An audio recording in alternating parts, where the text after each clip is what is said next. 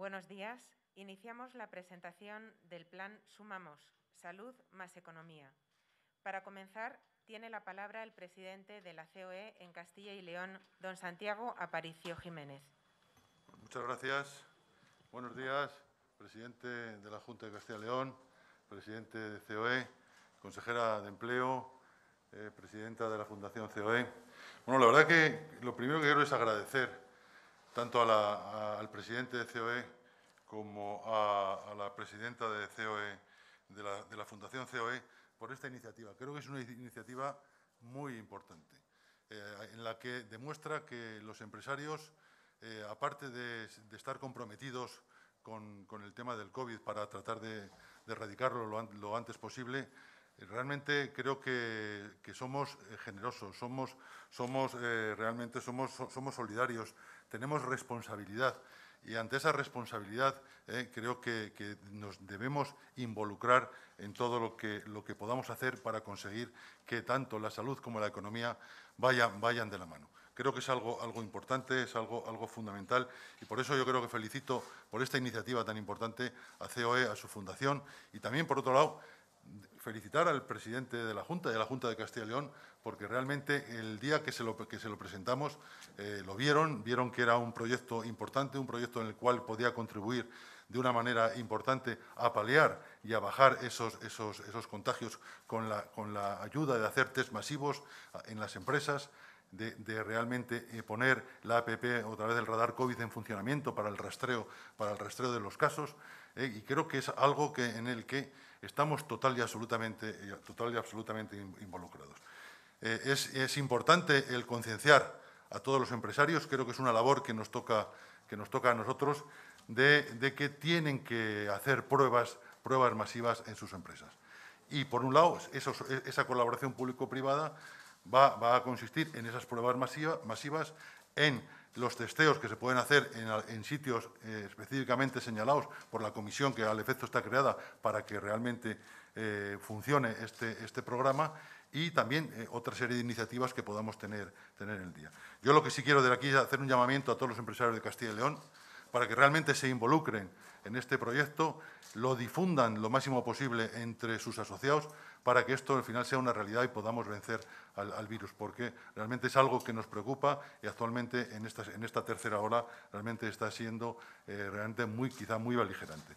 Yo sin más agradecer a todos, desearles a, a, los empresarios que se realmente se impliquen en todo, este, en todo este proyecto, que trabajemos conjuntamente con la Administración y creo que desde el primer momento nosotros hemos demostrado que esa solidaridad que, tuvimos desde, el principio, desde el principio de la pandemia, pues bueno, eh, donando EPIs, eh, eh, involucrándonos en acciones con los, con los, más necesitados, con los más vulnerables, cambiando nuestros lineales y, nuestra, y, nuestras cadenas de producción para, para dedicarlo a realmente a, materiales que se necesitaban en aquel momento, creo que lo hemos demostrado. Seguimos demostrándolo, en este caso, que, que lo que queremos es que al final convivan la salud con la economía, que realmente creo que es lo más importante.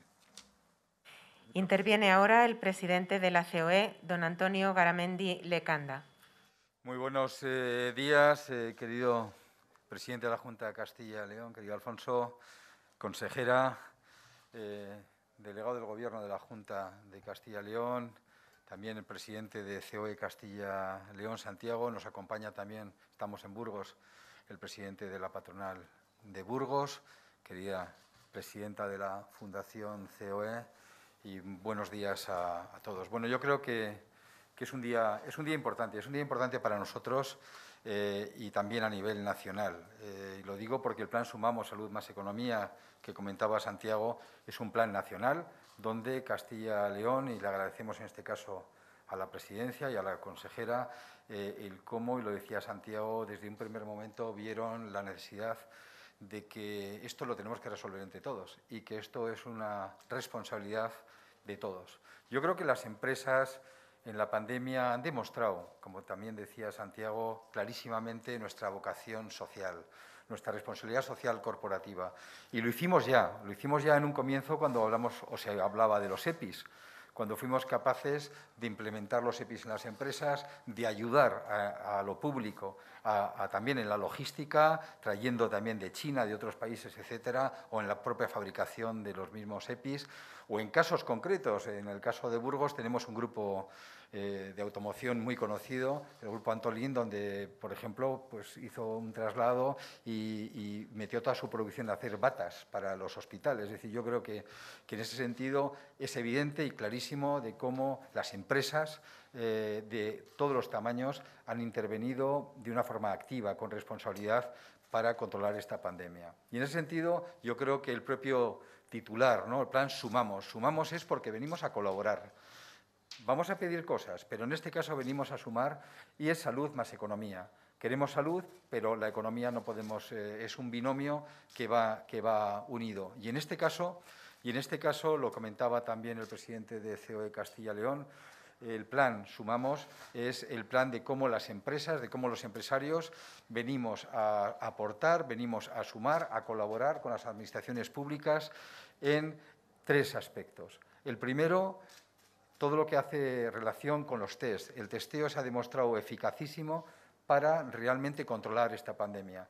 Eh, estamos preparados, ya lo estamos haciendo en Madrid, eh, a través de nuestros centros médicos, de nuestros centros en las propias empresas, a través de centros, eh, como puede ser, por ejemplo, en el caso de Madrid, que ya lo estamos haciendo en Mercamadrid, eh, o sea, centros que se puedan trasladar, y eh, como también estamos pidiendo que se pudiera hacer concretamente en el caso de las mutuas o las farmacias. En el caso de las mutuas, en España hay más, más de mil centros de mutuas con 10.000 eh, profesionales. En Castilla-León, en Castilla-León hay más eh, de, 600, 450 eh, profesionales con 65, 60 y, más de 60 centros que yo creo que pueden ayudar a que el 40% de la población que son afiliados a la seguridad social puedan, cuando toque, en este caso, en estos momentos con los test, pero más adelante con las vacunas, eh, podamos ayudar a, implementar, a gestionar lo más rápido posible todo este efecto de la pandemia desde el plano eh, de la salud. Eh, creo también que dentro de nuestro plan está la concienciación de la gente. Es decir, por un lado, vamos a promover el que la gente se apunte, se instale el radar COVID, que también es clave para ese planteamiento de los rastreos que siempre hemos eh, eh, planteado y a la vez haremos campañas de comunicación para concienciación social eh, de, en general de todas las, las personas. Yo creo que ese es nuestro objetivo y nuestro objetivo es seguir colaborando con las administraciones, en este caso con la Junta de Castilla-León, para, en cuanto estén las vacunas, también actuar con relación a las vacunas. Y no nos olvidamos de una segunda parte que en las empresas lo tenemos presentes. Uno es la inserción de las personas que van a quedar en paro, que lo hay. Eh, tenemos un programa muy potente que estamos eh, ya eh, trabajando con Cáritas y a la vez hemos implementado otro programa que yo creo que es muy importante de reciclaje también por parte de las empresas de ordenadores para que una vez reparados puedan ir también a colegios y a las personas más vulnerables para que no pierdan tampoco un tema fundamental que es la parte de educación y formación. Ahí es donde estamos.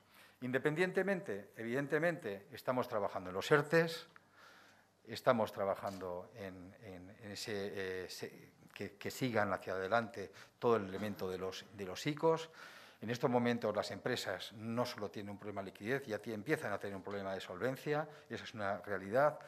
Vamos a tener que hablar posiblemente, no ya inmediatamente, de ayudas directas a sectores muy, muy, muy afectados, eh, que están ahí y que son los que más están sufriendo. Ahí estamos hablando de la hostelería, estamos hablando de la hotelería, etcétera. Yo creo que todos sabemos, especialmente lo relacionado con el turismo, que es una actividad fundamental en nuestro país, en España, y que realmente se merece y, nos merecemos realmente ver cómo entre todos, insisto de nuevo, volvemos a poner encima de la mesa estos temas.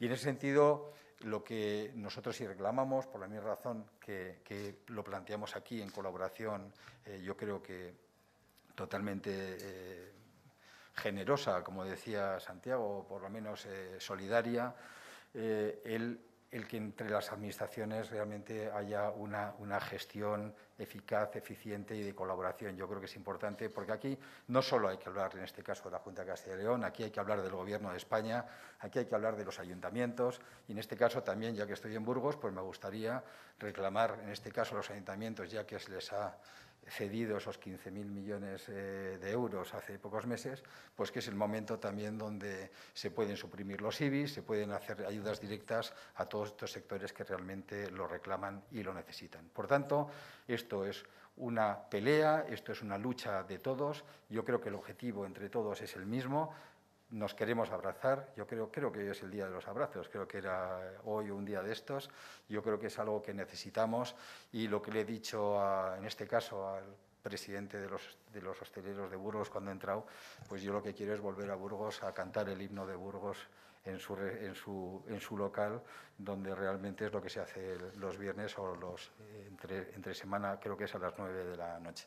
Así que, presidente, cuenta con nosotros. Eh, nosotros, bien lo sabes, somos exigentes, siempre lo hemos sido, pero también eh, sabemos participar, sabemos colaborar, sabemos de la responsabilidad eh, que tenéis, pero, pero quiero que sepas también que contéis con nuestra colaboración para todo lo que necesitéis, porque, insisto, este, esto es una lucha que tiene que ser entre todos. Y, por último, llamo a la responsabilidad de la sociedad, porque las empresas estamos haciendo la gestión de la crisis, las empresas estamos cumpliendo con los protocolos de prevención, de seguridad.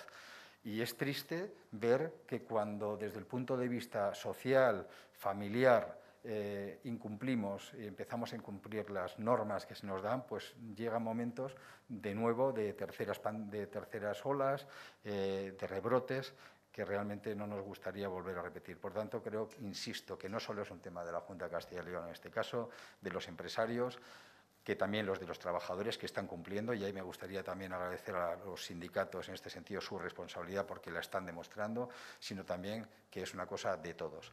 Así que muchas gracias, eh, querido presidente, eh, y gracias de verdad por, por haber cogido el guante y, y, estoy seguro que este camino que vamos a recorrer juntos va a ser, va a ser una buena iniciativa para seguir hablando de otro tema muy importante, que es la colaboración público-privada tan importante en estos momentos.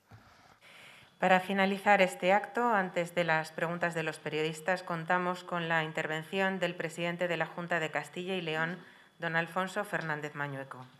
Muchas gracias y buenos días. En primer lugar, saludar a nuestros invitados, al presidente de COE, Antonio, al presidente de COE Castilla y León, que está en su casa, aunque es soriano, eh, Santiago, y por supuesto a Fátima, la presidenta de la Fundación COE. Quiero agradecer también la presencia en este acto al presidente COE Burgos y, por supuesto, a la consejera de, Economía, perdón, de Empleo e Industria.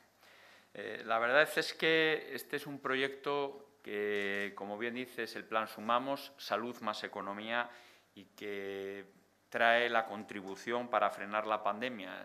Yo creo que es un plan, una iniciativa que desde que se nos planteó por parte de la COE, en un tiempo récord, hemos trabajado, la consejera, la presidenta de la Fundación, COE, la Junta de Castilla y León, y es algo que tenemos que reconocer y felicitarnos y agradecer. Hoy sumamos fuerzas, por tanto, contra la pandemia y vamos a impulsar de esta manera cribados masivos eh, con test de antígenos a los trabajadores de las empresas donde se producen grandes concentraciones de trabajadores, eh, fundamentalmente polígonos industriales, centros logísticos, mercados centrales, grandes empresas el objetivo de esta iniciativa es el objetivo eh, que lleva marcando desde el inicio la Junta de Castilla y León, es proteger la salud para proteger el empleo. Yo creo que es algo en lo que coincidimos todos, sin duda. Solo desde la seguridad sanitaria podremos reactivar la economía y seguir avanzando. Y desde esa exigencia de la que hablaba el presidente de la COE, solo desde la exigencia podremos sacar adelante iniciativas que hagan avanzar la sociedad y que sigamos mirando más allá y, desde luego, apostando por el futuro. Eh, teniendo en cuenta los últimos datos que hemos vivido en, estas dos semanas y media desde que empezó este año 2021, tenemos que hacer una apuesta clara por la anticipación y la prevención. Eh, y en esa apuesta clara por la anticipación y la prevención está la política de vacunas, está la política de rastreos, está la política de medidas restrictivas y, desde luego, esta estrategia de antígenos. Eh, nuestra estrategia de antígenos es fundamental, es un eje vertebral para la detección precoz de los contagios y consideramos una iniciativa muy positiva a la que no hemos dudado en sumarnos. Creo que, como saben ustedes, estamos incrementando desde hace semanas nuestra apuesta por los test rápidos en los centros de salud, en las salas de urgencia de los hospitales, también organizando cribados masivos en distintas zonas básicas de salud o municipios donde hay mayor incidencia, donde la trazabilidad ha bajado y donde también hay una positividad muchísimo más alta. Estamos haciendo también cribados masivos donde hay concentración eh, de personas importantes, las residencias de estudiantes es otro ejemplo, y lo que hoy estamos hablando, los centros de trabajo, que es el caso que hoy aquí estamos hablando. Por tanto, apostar por la colaboración público-privada es, desde luego, apostar por el futuro. Y yo me siento hoy especialmente contento de seguir trabajando en esa línea, en esa estrategia de prevención, de anticipación, de apostar por la salud para impulsar la economía. Y creo que eh, desde el trabajo conjunto vamos a realizar un calendario de actuaciones. Ya se habla el 27 de enero en los polígonos de Zamora, Los Llanos, Iniesta, Coreses, continuará en Soria y luego también en el polígono de Villalonquejar, aquí en Burgos. Vamos a seguir desarrollando eh, ese trabajo continuo para seguir impulsando esos cribados. Eh, el objetivo, pues lo saben ustedes, reducir la incidencia en los lugares de trabajo y la sociedad en general, porque los trabajadores, al fin y al cabo, son, eh, por supuesto, eh, son personas que luego van a sus casas, tienen relaciones y, y eso es vital, esa colaboración público-privada es vital para doblegar en estos momentos la curva. Creo que eh, respecto del plan de vacunación, dar unas pinceladas. Eh, seguimos a buen ritmo de acuerdo con el suministro que se nos envía por parte del Gobierno de España. Estamos rozando el 90% de las dosis que se nos suministra de implantación en las personas eh, mayores que están en residencias. De hecho, empezamos ya con la segunda dosis de esas personas mayores y los trabajadores sociales y sanitarios que están en las residencias. Y, por otro lado, eh, estamos también preparados desde la Junta de Castilla y León para aumentar el ritmo de vacunación si fuera necesario, eh, porque se incrementaba el ritmo de distribución de vacunas por parte del Gobierno de España. Por tanto, también actuamos con anticipación y prevención en algo que es, eh, desde luego, una puerta abierta a la esperanza, como son las vacunas. Respecto de las medidas restrictivas de la protección de las personas, Saben ustedes que hace unos días tomé la decisión con nuevas medidas de limitación de personas en reuniones, eh, grupo de no convivientes a cuatro, cierre perimetral de las provincias, también reducción de personas en los lugares de culto y también el adelanto del toque de queda a las 20 horas. En primer lugar, yo lo que tengo que hacer es agradecer la colaboración y la comprensión de todas las personas de todo el mundo en Castilla y León. Quiero agradecer su actitud cívica responsable de cumplir la legalidad vigente en estos momentos en Castilla y León. Creo que la implicación individual de la que han hablado presidente de COE España, presidente de COE Castilla y León, esa implicación individual es clave para que seamos capaces de vencer el virus. Y precisamente ese es el objetivo de estas medidas que hemos adoptado es a favor de todos y frente al virus, que es nuestro único enemigo, nuestro único adversario y al que tenemos que vencer con la ayuda de todos. Anticipar es tomar medidas, gobernar es decidir y nosotros estamos tomando medidas, lo que no vamos a hacer es quedarnos cruzados de brazos. Hemos actuado con responsabilidad. Eh, por ir concluyendo, decir que seguimos utilizando al máximo las herramientas jurídicas que están a nuestro alcance, que se nos han dado para otorgar y afrontar la pandemia. Hemos pedido durante meses que se nos otorgaran, instrumentos jurídicos adecuados para doblegar la curva Y bueno, pues eh, yo creo que eh, es importante en estos momentos la unidad de acción de todos, de las administraciones públicas, la unidad de acción también por parte del sector privado, como muestra este ejemplo de colaboración, avanzando todos en la misma dirección, sumando esfuerzos y creo que es imprescindible la responsabilidad de todo el mundo para reducir al máximo los eh, contactos y, evitar los contagios, que eso es lo, que, lo que consideramos. Es imprescindible la unidad de acción, pero eso significa también que tenemos que actuar. Y ahí yo creo que estamos dando un ejemplo importante. El virus no entiende ni de fronteras administrativas ni de tecnicismos jurídicos. El virus no entiende de eso. Por eso todos tenemos que ir unidos, avanzando en la misma dirección y solo desde la anticipación, la responsabilidad y el compromiso personal podremos vencer al virus y superar esta crisis que estoy convencido que a lo largo de este año seremos capaces de conseguirlo. A partir de aquí, si quieren, eh, le cedo la palabra a la directora de operaciones para que vaya realizando las preguntas. Muchas gracias, presidente. Vamos a iniciar, por tanto, ese turno de preguntas con Castilla y León Televisión. Allí tenemos a Manolo Torres, como habitualmente. Manolo, cuando quieras. Buenos días eh, a todos eh, los presentes. Eh, me gustaría dirigir una pregunta a cada uno de los intervinientes. Al señor Aparicio, al presidente de COE Castilla y León, que nos detallase un poco cómo va a ser esa colaboración para el desarrollo de, este programa y en qué situación quedan las pequeñas y medianas empresas. Al presidente de, COE España me gustaría preguntarle por un tema nacional, que es el tema de la negociación de los ERTES que está ahí sobre la mesa y sobre todo eh, las reformas que están pendientes y que hoy en el Eurogrupo se van a, hablar de ello, que es pensiones y reforma laboral, y al presidente de la Junta eh, que nos hable un poco de ese recurso que ha presentado el Gobierno contra la decisión de adelantar el toque, el toque de queda. Eh, ¿cómo, quedaría la situación si saliese a adelantar eh, medidas cautelares? Bueno, pues la verdad que creo que lo he comentado antes, hay una, hay una, va a haber una comisión que está compuesta por una persona designada por la Consejería de Empleo, otra persona designada por la Consejería de Sanidad, una persona que designaremos eh, desde COE Castilla y León y una persona que, que desde la Fundación COE es la que va a coordinar toda, toda, esta, toda esta, esta, comisión y en esa comisión es la que se van a decidir cómo actuar. Pero fundamentalmente lo que se van a hacer van a ser test masivos en las empresas, luego se van a hacer testeos en diferentes puntos de cada, de cada provincia, en los que ahí todos los, empresarios pequeños o los autónomos van a tener la posibilidad de, poder acudir a esas, zonas, a esas zonas de testeo.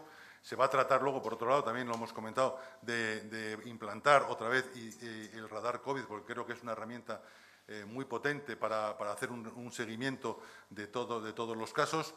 Y luego habrá cantidad de propuestas que puede venir de una o de otra parte para que se lleven a cabo. Eso es un poco cómo va a funcionar la, toma de decisiones.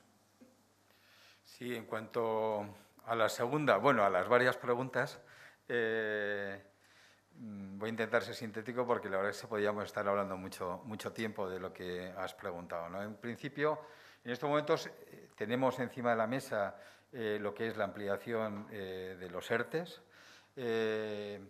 comentaros, yo creo que hay algo importante eh, cuando se dice si nosotros atrasamos o no atrasamos los tiempos, yo quiero aclarar que en la última prórroga tuvimos que llegar al último día porque la hostelería y el comercio no estaban incluidos eh, en esos ERTES y hoy estamos viendo lo que le está pasando a la hostelería. Lo digo para que quede claro que no lo hacemos porque nos divierte, sino que lo hacemos porque cuando se dice que se prorrogan, se prorrogan de aquella manera.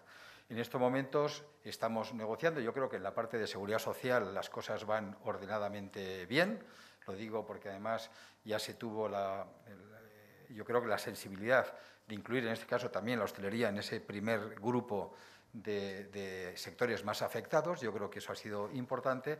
Y en estos momentos eh, es cierto, estamos eh, en un planteamiento que creo que es importante y es, eh, estamos hablando de una proporcionalidad en la interpretación de, la cláusula de eh, devolución de, las, de, las, eh, a decirlo, de esas exenciones.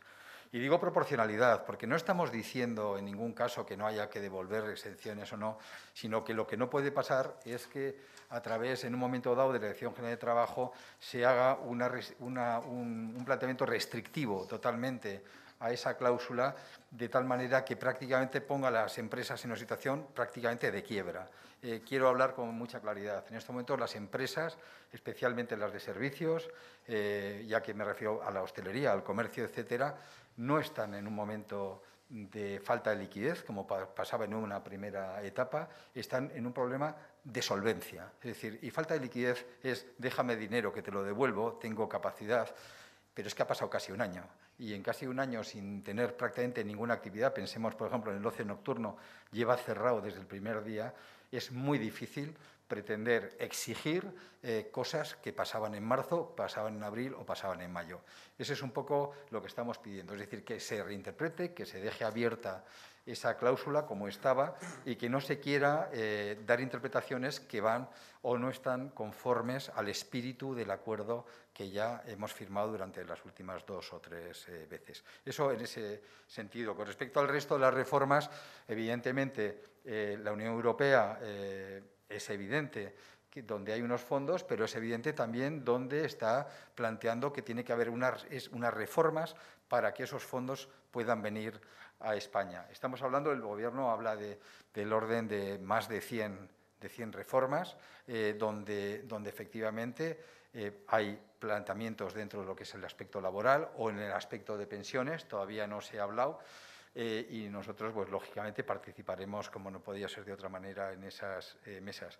Y quiero aclararlo y eh, que quede claro, y es que Bruselas sí es verdad que está pidiendo una serie de condicionalidades realmente para que esos fondos puedan llegar y no nos olvidemos que tenemos en estos momentos, y eso es de agradecer, una liquidez extraordinaria que no ha pasado en otras, en otras crisis, pero tenemos que ser lo suficientemente responsables para saber que el año 21 lo vamos a, tener así, pero al año 22 empezaremos a hablar de que esas exigencias o esas reformas que nos está exigiendo Bruselas realmente eh, eh, vayan en la, en la, dirección que nuestros socios europeos eh, reclaman. Y yo creo que ese es un poco en la línea en la que nosotros, eh, como no podía ser de otra manera, vamos a seguir trabajando y, por supuesto, como hemos hecho hoy aquí, eh, lo he dicho antes, nosotros decimos las cosas como tienen que ser, yo siempre lo digo con, sentido de Estado, queremos a nuestro país, nos podemos equivocar, eh, pero que se sepa que lo hacemos de buena fe y, por supuesto, también con lealtad institucional, que yo creo que es lo que es importante y es lo que realmente hace avanzar una sociedad. Eh, muchas gracias.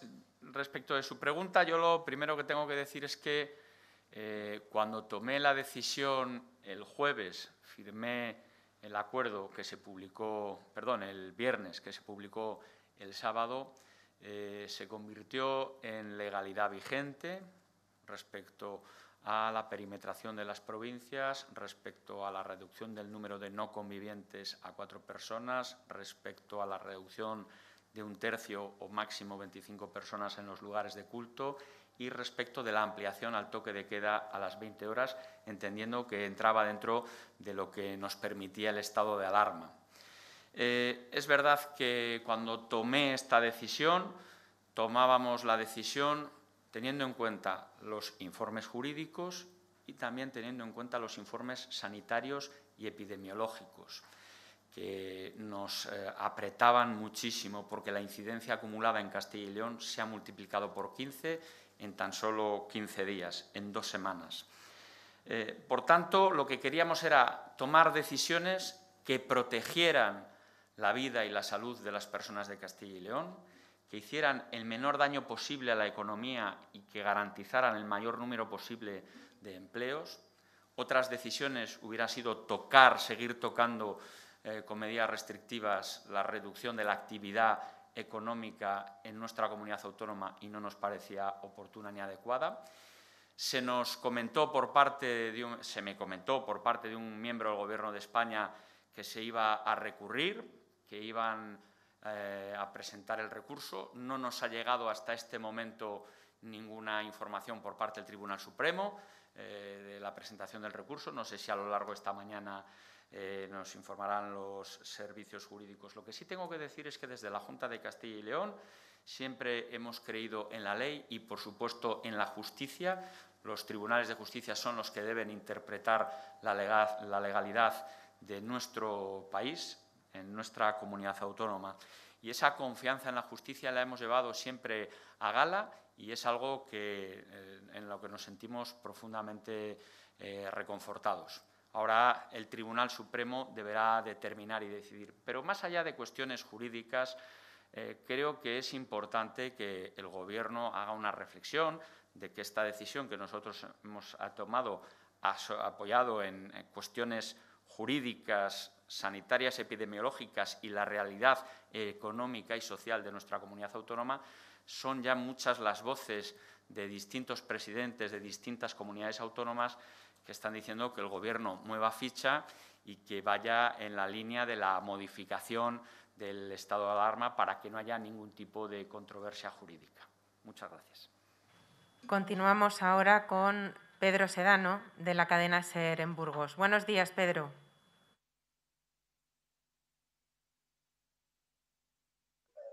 Sí, hola, buenos días.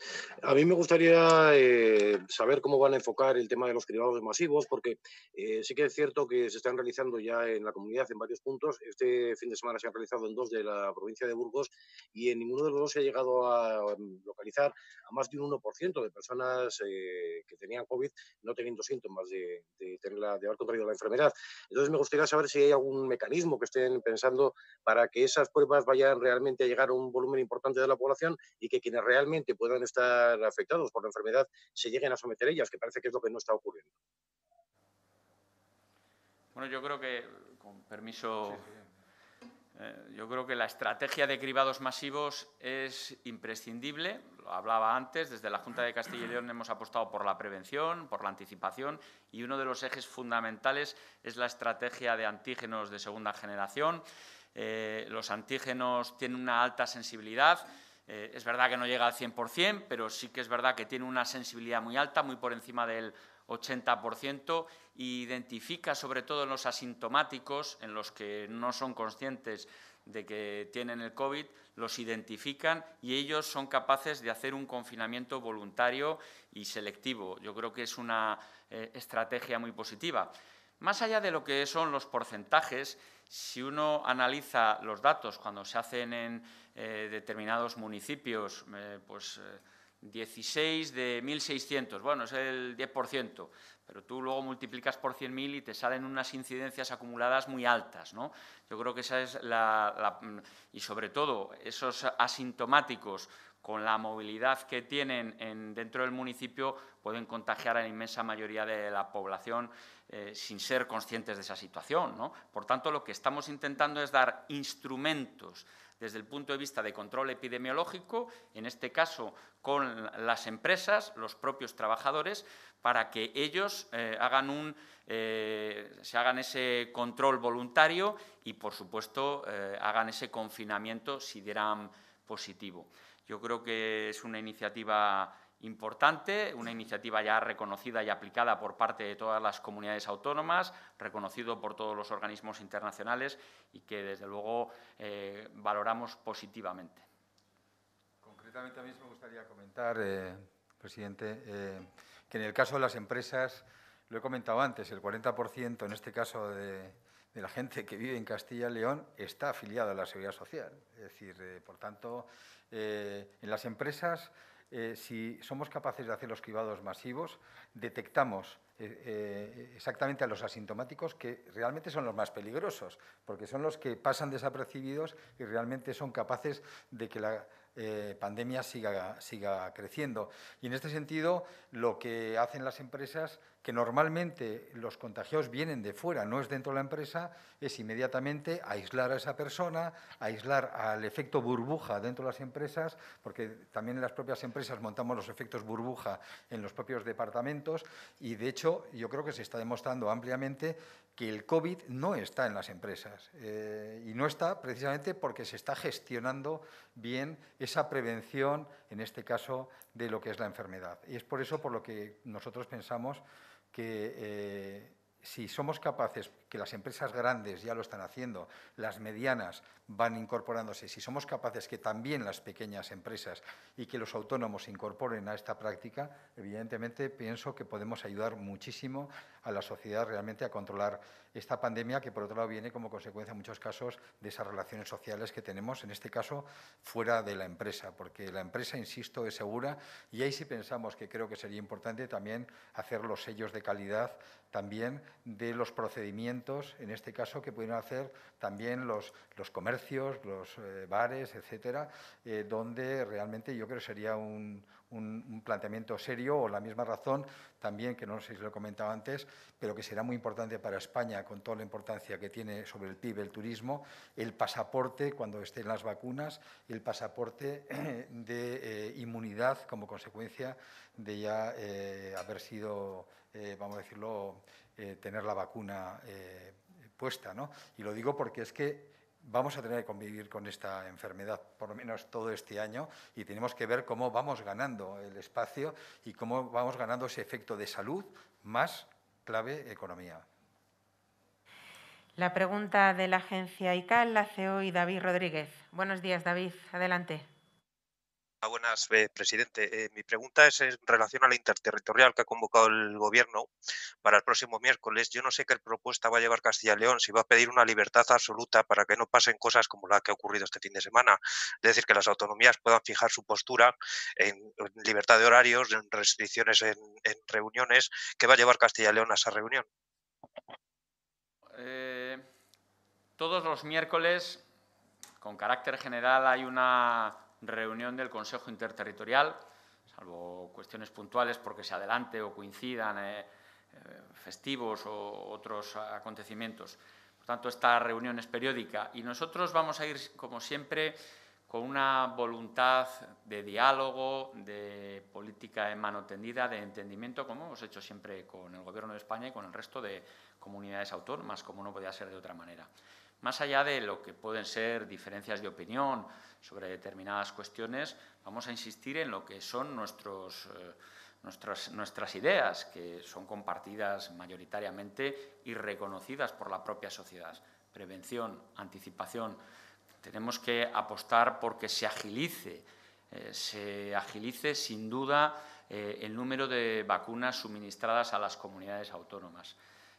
tenemos que apostar también eh, por, estas medidas.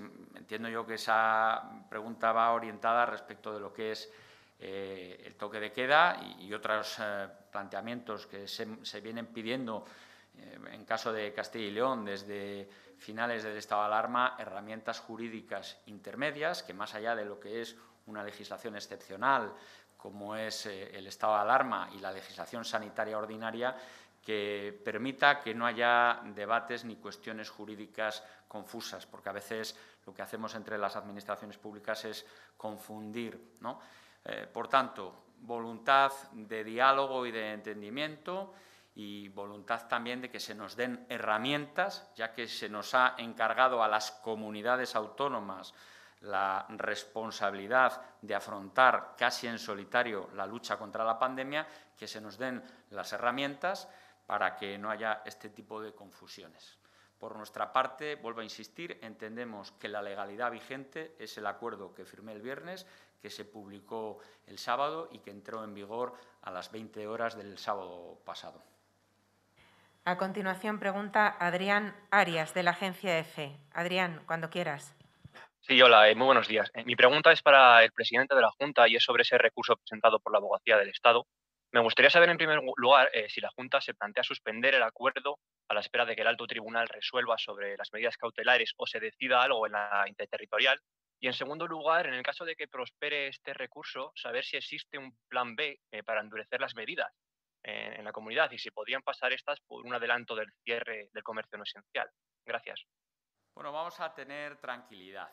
El acuerdo es la legalidad vigente en estos momentos en Castilla y León y que nace con vocación de permanencia, aunque el propio acuerdo dice que cada 15 días haremos un análisis de la situación epidemiológica y sanitaria de la comunidad. No solo la epidemiológica, porque muchas veces nos fijamos en la incidencia acumulada, pero también eh, cuanto más incrementa la incidencia acumulada, más incrementa el número de camas en planta y el número de camas en UCI, que es extremadamente alto en, esta, en nuestra comunidad autónoma. Eh, y es, por tanto, en 15 días analizaríamos esa situación y veríamos eh, la evolución de las medidas que hemos adoptado. a partir de ahí, vamos a ver qué es lo que propone el Gobierno eh, respecto del Consejo en el Consejo Interterritorial. Yo ya he manifestado cuál es nuestra posición y, por mi parte nada más. Le corresponde ahora preguntar al diario de Burgos. Allí tenemos a Juan Maíquez. Eh, cuando quieras, Juan, puedes hacer tu pregunta. Adelante.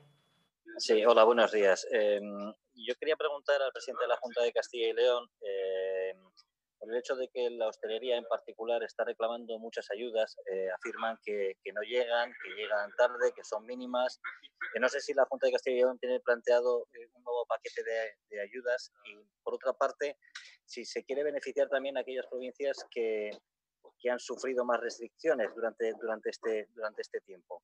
Y luego a los representantes de la, de la patronal quería preguntarles eh, por la fecha del privado masivo en Villalonquejar y también eh, a cuántos trabajadores se les, se van a hacer el test aquí en la, en la provincia de Burgos. Bueno, respecto de la pregunta que me formula a mí y en concreto la referida a la hostelería y las ayudas, mm, mire, van a permitir esta rueda de prensa para hacer un llamamiento a todos los hosteleros, a quienes trabajan con los hosteleros, gestores, administrativos, asesores fiscales. Hay líneas que están en marcha y nos ha sorprendido el escaso número de solicitudes.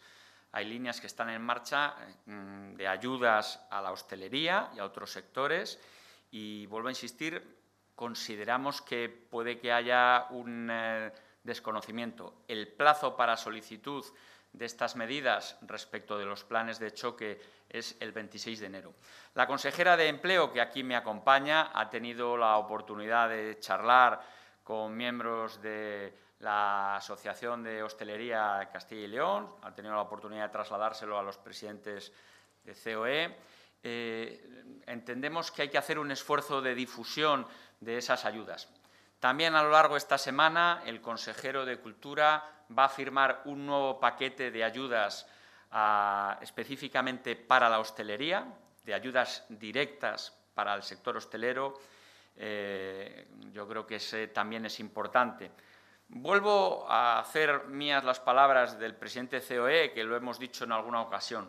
Creo que es fundamental ayudar a todos los sectores que lo están pasando mal, no solo la hostelería, sino a todos los sectores que lo están pasando mal, y ahí quien tiene que liderar ese plan de apoyo a esos sectores económicos es el Gobierno de España y las comunidades autónomas tenemos que colaborar con el Gobierno de este país.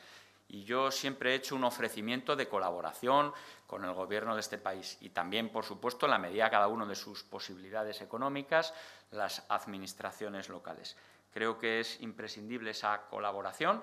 Por tanto, recuerdo, Pusimos en marcha el año pasado dos planes de choque con ayudas directas, aparte de las líneas de liquidez, que se han distribuido 680 millones de euros a través de Iberaval, eh, en colaboración con la Junta de Castilla y León, y cerca de 90 millones de euros en los dos planes de choque del año pasado. Esta semana se va a firmar la primera convocatoria o las bases de la convocatoria de 20 millones de euros para la hostelería. Eh, tendremos que seguir analizando la situación a lo largo de las eh, próximas semanas y ver cómo está la situación económica y social en nuestra comunidad autónoma. Sí, eh, el día, creo que todavía no está definido el día de, Villalonquejar. lo tendrá que decidir la comisión de la que hemos hablado, que es la que va un poco a, dirigir y a coordinar todas las actividades que se van a hacer del, Plan Sumamos. Y, test, pues todos los que podamos hacer. Ojalá pudiéramos hacer a todos los trabajadores del polígono de Villalonqueja y de otros muchos polígonos y de otras muchas ciudades o capitales, a todos los trabajadores. Yo creo que ahí no va a haber límite de test para poderlos, para poderlos realizar el número que, vayan allí y se presenten ese día allí o los días que haga falta y, test no van, no van a faltar. O sea que vamos queremos animar a, todo, a todos los trabajadores para que realmente se presenten cuando se haga en cada, en cada, en cada punto, en cada polígono, en cada, en cada sitio de testeo donde se puedan hacer los test y queremos animar a todos para que cuantos más vayan, mejor. Ya lo ha dicho antes el presidente de COE y el, presidente de, la Junta, que realmente lo que, lo que queremos es descubrir a los asintomáticos que realmente son los más peligrosos. ¿Por qué? Porque ellos no saben que están contagiando, realmente no tienen ningún síntoma y al final pues pueden, pueden contagiar a muchísima gente. Y creo que es adelantarnos tres, cuatro o cinco días a que realmente esa persona se le detecte, pueda, pueda estar confinada ya en su casa y realmente, y realmente no, no, no contagie. Por eso test todos los que, porque en ese sentido creemos que la Junta de Castilla y León no va a escatimar, sino todo lo contrario, que todos los que necesitemos son los que realmente se van a hacer. Desde el Correo de Burgos sigue esta rueda de prensa Ricardo García Ureta. Buenos días, Ricardo. Buenos días. Quería hacer una pregunta al presidente de la Junta eh, a propósito del recurso sobre el toque de queda. Si tienen la esperanza de que el Supremo falle a favor de los intereses de Castilla y León o tienen la esperanza también de que el Gobierno decida levantar el recurso en vista de que la aplicación práctica eh, se va a poder cumplir, porque eh, el Supremo dará a la Junta 10 días de audiencia y luego tiene otros 5 días para, pronunciarse, con lo que al final eh, son 15 días de, aplicación de este toque de queda, si espera que el Gobierno levante el recurso o bien que el Supremo le dé la razón. Mire, más allá de lo que es la razón jurídica, que vuelvo a insistir, yo humildemente estudié la carrera de Derecho, son los tribunales de justicia los que estamos en un Estado de Derecho y, por tanto, son los tribunales de justicia los que tienen que determinar y, por supuesto, sus resoluciones, eh, en este caso sus autos o sentencias, las cumpliremos fielmente como no puede ser de otra manera. Yo lo que espero es que esta medida sea eficaz, por eso la hemos adoptado, en la lucha contra el virus, porque ese es nuestro objetivo, vencer al virus tenemos que doblegar la curva de la incidencia acumulada, porque esa incidencia acumulada, reducirla salva vidas, reducirla salva al sistema sanitario y al sistema hospitalario público de Castilla y León. Y, por tanto, hemos adoptado esas medidas para proteger la vida y la salud de las personas, pero también para proteger el empleo eh, y proteger la economía, porque solo desde, vuelvo a insistir, desde una eh, apuesta por la salud, podemos afrontar el futuro de la recuperación económica y del empleo. Damos ahora la palabra a Ángel Blanco, del norte de Castilla. Ángel, adelante. Hola, buenos días. Mi pregunta es para los presidentes de la patronal eh, nacional y autonómica. Eh, hemos leído hoy que España se ha situado ya a la cabeza de Europa en reactivación de trabajadores en ERTE eh, con, bueno, salvo el, la hostelería y el comercio, la práctica totalidad de sectores están ya al 95%.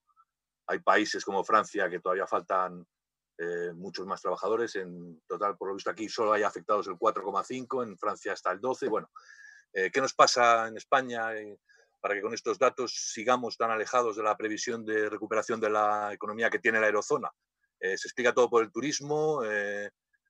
Mm, no hay alguna otra explicación. Gracias. Bueno, es cierto que en el mes de marzo, abril, había casi prácticamente tres millones y medio de personas afectadas a los, a los ERTES y en estos momentos estamos hablando de unas 800.000 personas. Eh, yo creo que, bueno, eh, en muchos casos todo esto, efectivamente, como bien dices, España es un país también de servicios. Yo creo que el turismo no hay que desecharlo, todo lo contrario, es, una actividad principal de nuestro país y yo creo que va a tener que seguir siéndolo y tenemos que apoyarlo de una forma expresa. Y eh, en estos momentos, efectivamente, hay 800.000 personas en, en ERTE, pero no nos olvidemos.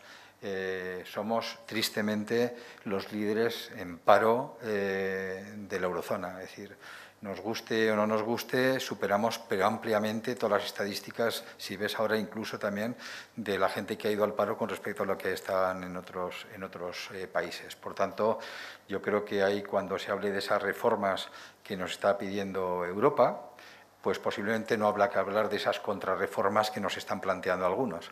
Eh, y realmente habrá que darle una vuelta importante, eso sí lo pide Europa, a esa dualidad del mercado laboral español que habrá que estudiar, pero eso sí con mucha seriedad para ver cómo se puede adaptar, por decirlo de alguna forma, la adaptabilidad de las empresas, la flexibilidad, la adaptabilidad de las empresas también con un empleo estable y seguro y, y vamos a decirlo, y bien retribuido en este, en este país. Es decir, pero la realidad es que efectivamente todo lo que es la parte de servicios, todo lo que es el efecto del turismo, pues lógicamente que también es eh, temporal, eh, le afecta a la temporalidad, pues lógicamente también eh, influye en este sentido.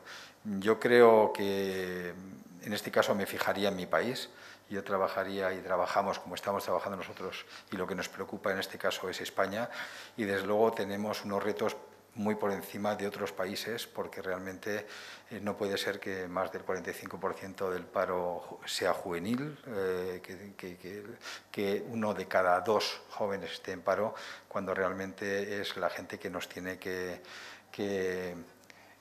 o que tiene que trabajar y que tiene que trabajar en el futuro de este país, que esa gente ya no es el futuro, sino que es el presente. Por tanto, yo creo que es algo y es un reto que también tenemos entre todos, las administraciones y los agentes sociales, trabajar conjuntamente para ver cómo solucionamos este problema.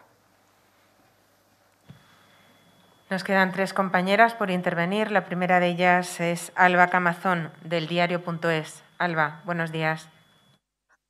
Buenos días. Yo quería preguntar si nos podría aclarar eh, la cantidad de test con el que está dotado menos inicialmente, si es que se ha ajustado algo, y si va a haber algún criterio para elegir los centros de trabajo primero, si por la, función que hacen, por la cercanía que pueden tener los trabajadores entre sí, y bueno, un poco eso. Gracias. Sí, eh, bueno, yo, creo que, te he oído muy mal la pregunta, ¿eh? se ha oído entrecortada, pero bueno, pero entiendo que, a ver, los test, eh, nunca mejor dicho, tienen que ser masivos y reiterados en el tiempo. Mm, no es una cuestión de que hago un test hoy y ya está. No, no, es que cada cierto tiempo habrá que seguir haciendo los test a la gente. Nos tenemos, nos tenemos que seguir haciendo los test. Eh, yo creo que ese es, ese es el, el objetivo. ¿Cuántos? Los que sean necesarios hasta que acabe la pandemia o hasta que venga, como tiene que venir la vacuna, y por eso yo creo que es muy importante, porque todo esto en el fondo también es, es un buen entrenamiento para, para, implementar las vacunas cuando llegue el momento. Por eso estamos planteando con, pero permanentemente que, insisto, creo que por parte del Ministerio de Seguridad Social no lo ven mal, pero tiene que dar el visto bueno a Sanidad. Eh, por eso es fundamental que todo esto, los test ya lo están haciendo eh, las empresas que tienen centros médicos. Eh, pero concretamente las mutuas, como he comentado antes, más de 10.000 profesionales, médicos, ATS, eh, eh, están ahí, que son 10.000 personas en España. En el caso de la Junta de Castilla y León hay prácticamente 65 centros que, además capilarizan el territorio y donde hay prácticamente 400, más de 400 personas, también mm, personal especializado, médicos, ATS, etcétera. Y luego también hago una reclamación y pongo en valor también la sanidad privada, que parece que nos estamos olvidando de la sanidad privada, pero es que los hospitales, las clínicas privadas también valen para, para hacer test, también valen para implementar eh, en, su momento las vacunas, y yo creo que, que, aquí lo que tenemos que hacer es, en el caso de los test, en la pregunta que me has hecho, desde luego tienen que ser eh, masivos, porque mientras que no esté la vacuna, es la única manera que tenemos de contener esta enfermedad. Test y rastreo, rastreo y test. Y en el mismo sentido, y lo hago siempre, no tiene sentido que tenemos una aplicación que se llama el radar COVID eh, y resulta que vas a cualquier hospital y te dicen que pases por allí porque no, aquí no hay ningún problema. Y es porque la gente no se ha dado de alta en el radar COVID. Y es clave es que esto es un rastreador perfecto si la gente fuera responsable y simplemente se bajara y además eh, cumple todos los requisitos de privacidad eh, y yo creo que es otro de los temas que vamos a hacer. Por eso también vamos a implementar campañas de comunicación para que todos, no solo las empresas, los empresarios, los trabajadores, y vuelvo a poner en valor eh, la responsabilidad de los trabajadores, que lo están demostrando, puedan, puedan eh, ser y, reclamar esa responsabilidad social que tenemos eh, todos, especialmente fuera de las empresas, que es donde se está demostrando que es cuando vienen las terceras olas, como ha pasado con el caso de Navidad. Seguimos con Diana Serrano Sanz, de Noticias Castilla y León. Adelante. Hola, buenos días. Mi primera pregunta es para el presidente Mañueco. Varios alcaldes con los que se reunieron el viernes para informarles sobre las nuevas restricciones se han quejado a lo largo de este fin de semana de la falta de información recibida. ¿Por qué no se le explicó ese toque de queda a las 8 durante esa reunión celebrada el viernes? Y para Antonio Garamendi, eh, si podría decirme si tienen alguna estimación sobre cuántas empresas eh, se llevará por delante esta crisis, tanto a nivel nacional como en Castilla y León. Muchas gracias. Mire, antes de tomar la, decisión, el acuerdo, eh, tuvimos la oportunidad, varios miembros del Gobierno autonómico de la Junta de Castilla y León, de tener encuentros y conversaciones con las fuerzas políticas y también con los ayuntamientos de más de 20.000 habitantes, con las diputaciones provinciales y con la presidenta de la Federación Regional de Municipios y Provincias de Castilla y León, que representaba al resto de ayuntamientos y entidades locales de nuestra comunidad autónoma. Tuve la oportunidad de confirmar allí mismo en la reunión el cierre perimetral y también de confirmar la reducción a los lugares de culto, la asistencia a los lugares de culto a un tercio, a 25 personas. Y dije que estábamos trabajando en otras dos cuestiones, reducir el número de no convivientes, estábamos en seis, lo hemos bajado a cuatro, implícitamente estábamos, eh, estaba diciendo íbamos a tomar esa decisión. Y también en mi intervención hablé de la competencia que tenía en el toque de queda. Eh, teníamos dos opciones, seguir restringiendo en base a la legislación ordinaria la actividad económica o ampliar el toque de queda en base al estado de alarma. Así se lo expliqué, así se planteó ante la reunión y, por supuesto, las grabaciones están a disposición de todas las personas que lo consideren conveniente.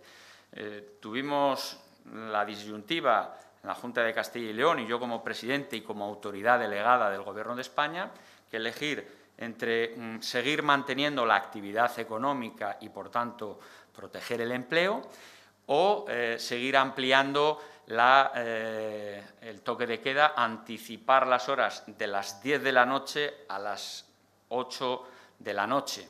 Eh, elegimos esa decisión porque considerábamos que era una medida ya consolidada en el imaginario de la sociedad de Castilla y León. Se puede comprobar cómo ha respondido. Agradezco la colaboración de todos, cuerpos y fuerzas de seguridad del Estado, de las policías locales, etcétera.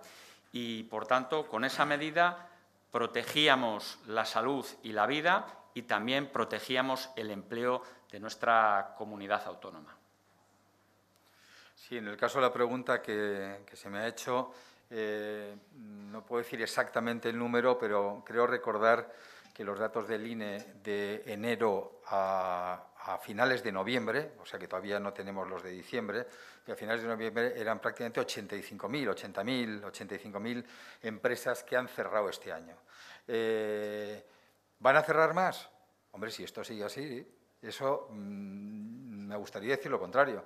Y por eso nosotros estamos pidiendo, reclamando, etcétera, toda esa batería de medidas que hay que hacer, desde los test que estamos aquí trabajando en ellos, en, lo que es eh, campo para, para, ayudar y para hacer lo que tengamos, pero estamos con los ERTES, como estamos trabajando estos días, con los ICOs, eh, con lo que ha sido el MAF, eh, todo el mercado alternativo, como, como, ha sido el fondo, el fondo también, por ejemplo, de SEPI en estos momentos que también se ha generado, como, estamos hablando de las ayudas directas, como he hablado antes de los ayuntamientos, porque claro, aquí también podemos hablar de los IBIs y podemos hablar de muchas cosas donde se puede aliviar de una forma importantísima a las empresas. Y tengamos una cosa presente. Eh, aparte del número, a mí lo que me preocupa es eh, los ERTES, por ejemplo, todas estas medidas están preparadas, uno, para dar eh, una cobertura a los trabajadores, que es la que tienen, y por otro lado, para intentar que esas empresas quedan hibernadas, porque no nos olvidemos que están hibernadas por orden administrativa. Eh, por tanto, que queden hibernadas, pero que sean capaces de volver a recuperar, como hemos hablado antes, de esos 3 millones y medio ya hay 800.000. Tenemos que ser capaces que esos 800.000 personas vuelvan a su ser, a su, a su empleo. Eh, y la realidad es que para eso hay que proteger a las empresas.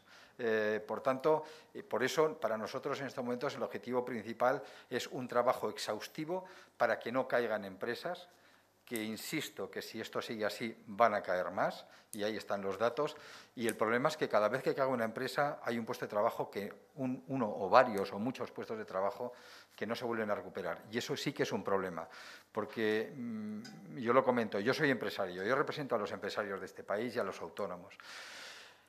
Y crear una empresa no es tan fácil. Y crear una empresa tiene un esfuerzo. Y crear una empresa es una ilusión.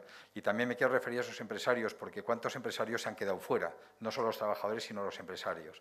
Eh, y cuántos proyectos están, eh, están en estos momentos fracasados por, por, por no culpa del que gestiona el proyecto, sino por un tema externo. Por tanto, protejamos a la empresa, que es la clave la iniciativa privada es la clave para que lo público funcione. Yo creo que ese es otro elemento clave, porque aquí también estamos hablando de lo público, de lo privado, y lo público existe porque lo privado existe.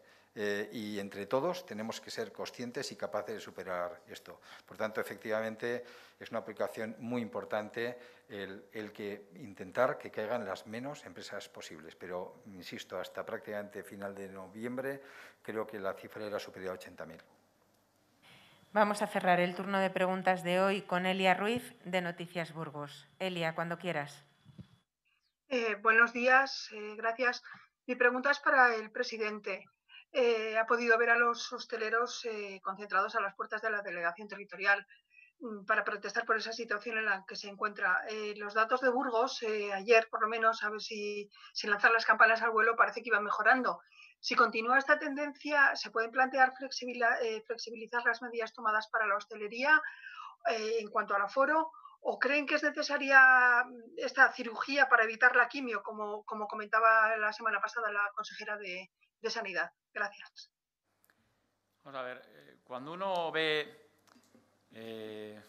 a un hostelero, yo tengo muchos amigos hosteleros, lo que me, lo que me invade es una sensación de sufrimiento y de dolor, porque esta pandemia trae sufrimiento y dolor en el ámbito personal, aquellas personas que han fallecido, que están sufriendo o han sufrido la enfermedad, pero también esta es una crisis, una pandemia que es verdad que tiene una raíz sanitaria, pero sin duda tiene consecuencias económicas. Y ese sufrimiento de los hosteleros, de los comerciantes, de quien tiene que cerrar su negocio, de quien ve peligrar su puesto de trabajo, a mí me produce, desde luego, me llega al corazón.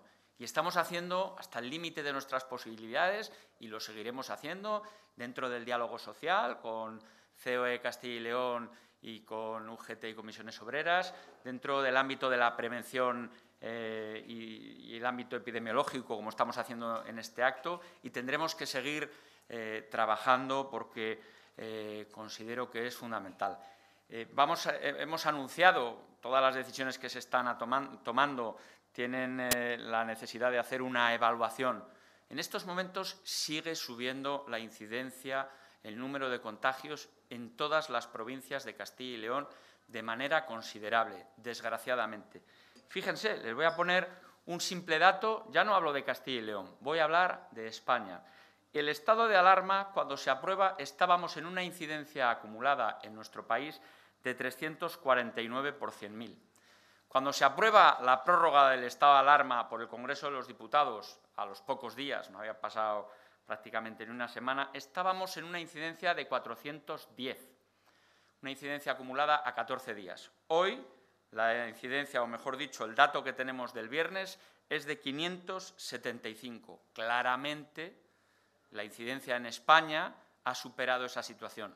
Claramente, la incidencia en Castilla y León en 15 días, por un ascenso vertiginoso del número de contagios, eh, se ha multiplicado por cinco y hemos tenido que tomar medidas. a medida que esa situación baje el número de contagios, baje la incidencia acumulada, mejore la situación en la hospitalización, tanto en planta como en UCI, lógicamente iremos eh, levantando restricciones que considero que tenemos que afrontar. Gracias a todos. Terminamos aquí.